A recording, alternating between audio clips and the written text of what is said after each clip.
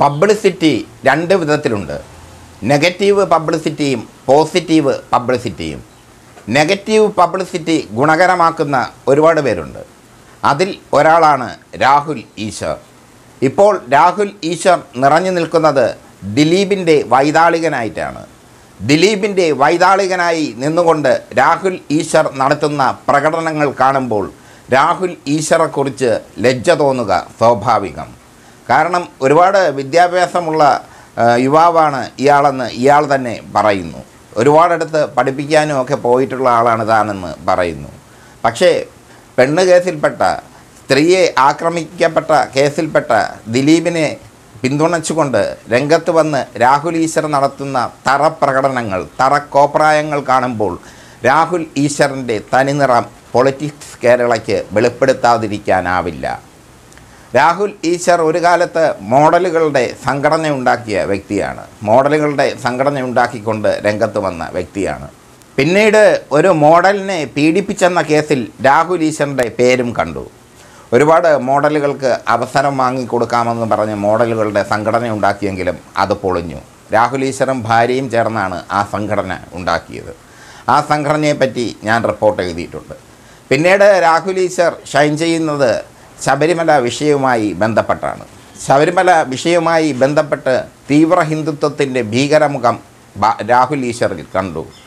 ശബരിമലയിൽ ചോര ചീന്താൻ അയ്യപ്പന്റെ നടയിൽ ചോര ചീന്താൻ അതായത് കയ്യിലെ ഞരമ്പ് മുറിച്ച് ചോര ഇറ്റിക്കാൻ രാഹുൽ ഈശ്വറും സംഘവും തീരുമാനമെടുത്തോടെ ആർ എസ് എസ്സുകാർ രാഹുൽ ഈശ്വറെ കൈവിട്ടു. അങ്ങനെ ചെയ്തിരുന്നെങ്കിൽ രാഹുൽ ഈശ്വർ ഇവിടെയൊന്നും കാണില്ലായിരുന്നു. ജയിലഴിക്കുള്ളിലായനെ എന്തായാലും അയ്യപ്പന്റെ നടയിൽ ചോര ചീന്താനുള്ള തീവ്ര ഹൈന്ദവ മനോഭാവം രാഹുൽ ഈശ്വറിന് വന്നിരിക്കുന്നു. ആ യുവാവ് മോഡലുകളുടെ സംഘടനയുണ്ടാക്കിയ യുവാവ് തീവ്ര ഹിന്ദു മനോഭാവത്തിലേക്ക് പരിണമിച്ചത് വല്ലാത്തൊരു പരിണാമം തന്നെയാണ്.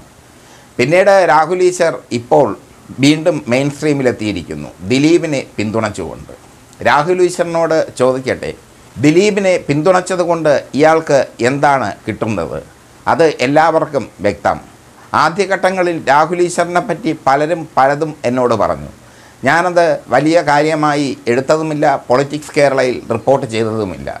കാരണം രാഹുൽ ഈശ്വർ അങ്ങനെയൊന്നുള്ള ഒരു ചെറുപ്പക്കാരനല്ല എന്നായിരുന്നു എന്റെ ഒരു വിശ്വാസം. പക്ഷേ കുറേ ക്ലിപ്പിങ്സുകൾ ദിലീപിനെ പിന്തുണച്ചുകൊണ്ട് രാഹുൽ ഈശ്വർ കാണിക്കുന്ന കോപ്രായങ്ങളുടെ ക്ലിപ്പിങ്സുകൾ എനിക്ക് കിട്ടി. അത് കിട്ടിയപ്പോൾ ഒരു കാര്യം മനസ്സിലായി. ഈ ചെറുപ്പക്കാരൻ നെഗറ്റീവ് പബ്ലിസിറ്റിക്ക് വേണ്ടി നടക്കുന്ന ചെറുപ്പക്കാരനാണ്. നെഗറ്റീവ് പബ്ലിസിറ്റി ഉണ്ടാക്കിക്കൊണ്ട് കേരളത്തിൽ ശ്രദ്ധ നേടാൻ ശ്രമിക്കുന്നു ഇദ്ദേഹം. ഉച്ചത്തിൽ പറഞ്ഞുകൊണ്ട് മറ്റുള്ളവരെ സംസാരിക്കാൻ സമ്മതിക്കാതെ മറ്റുള്ളവർ എന്തെങ്കിലും പറയുമ്പോൾ അതിൽ കയറി ഇടപെട്ടുകൊണ്ട് തറക്കളി കളിക്കുന്നു രാഹുൽ ഈശ്വർ. ഇങ്ങനെ തറക്കളി കളിച്ചുകൊണ്ട് തന്നിലെ വ്യക്തിത്വത്തെ തന്റെ വ്യക്തിത്വത്തിന്റെ ഊർജത്തെ കളയുന്നു രാഹുൽ ഈശ്വർ. രാഹുൽ ഈശ്വർ ഒന്ന് മനസ്സിലാക്കേണ്ടത് ദിലീപ് ഇപ്പോൾ ഈ കേസിൽ ഭാവനയെ ആക്രമിച്ച കേസിൽ പ്രതിയാണ് എട്ടാം പ്രതിയാണ്. മാത്രമല്ല പോലീസുകാരെ വധിക്കാൻ ഗൂഢാലോചന നടത്തി എന്ന കേസിൽ ഇപ്പോൾ അന്വേഷണം നേരിടുന്ന പ്രതിയാണ്. ഇങ്ങനെ ഒരുപാട് ഒരുപാട് കേസുകളുള്ള ഒരാളാണ്. അയാൾക്ക് വേണ്ടി രാഹുൽ ഈശ്വർ വന്നിരുന്ന് വാദിക്കുമ്പോൾ നിങ്ങളുടെ വ്യക്തിത്വം നിങ്ങൾ എവിടെയോ കൊണ്ടുപോയി പണയം വെച്ചിരിക്കുന്നു. പണയം വെച്ച് പണം വാങ്ങുക എളുപ്പമാണ് രാഹുൽ ഈശ്വറെ. എന്തും കൊണ്ട് പണയം വയ്ക്കാം പണയം വെച്ച ശേഷം നമുക്ക് പണം വാങ്ങാം. പണം വാങ്ങിക്കഴിഞ്ഞാൽ പിന്നീട് നമ്മൾ പാപ്പരായി മാറും. ഇപ്പോൾ രാഹുൽ ഈശ്വറിന് സംഭവിച്ചിരിക്കുന്നത് അതാണ്. പണയം വാങ്ങി പാപ്പരായി മാറുക. അത് ഒരു തത്വശാസ്ത്രമാണ്.